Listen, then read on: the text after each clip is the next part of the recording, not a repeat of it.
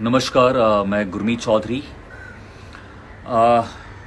आप सभी भली भांति जानते हैं कि जो हमारे हिंदुस्तान में हमारे पूरे दुनिया में जो अ, अभी जो माहौल है वो बहुत ही क्रिटिकल है। तो प्लीज़ आपसे हाथ जोड़कर विनती करता हूँ कि प्लीज़ आप अ, घर से बाहर मत निकलिए।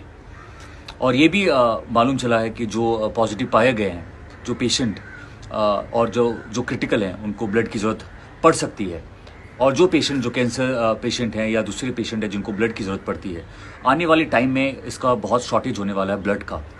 तो बहुत खुशी की बात है कि भारतीय जैन संगठन साथ में आए हैं और उन्होंने बहुत सारे कैंप्स लगाए हैं ना केवल महाराष्ट्र में इनफैक्ट हर जगह पे जो ब्लड डोनेट कर रहे हैं। तो मैं आप सबसे हाथ जोड़कर विनती करता हूँ कि ये टाइम है हम एक फैमिली की तरह रहें और हमें हमें मिलके अ, इनका सपोर्ट करना है, ब्लड डोनेट करना है और मैं हार्दिक दिल से धन्यवाद कहना चाहता हूँ आप जैन भाइयों का बहनों का कि आप इस समय पे एक साथ आए हैं और और बाकी लोगों को भी मैं यही विनती करता हूँ कि प्लीज़ एक फैमिली की तरह रहें और और आने वाले टाइम में हमें इन सब का सपोर्ट करना है।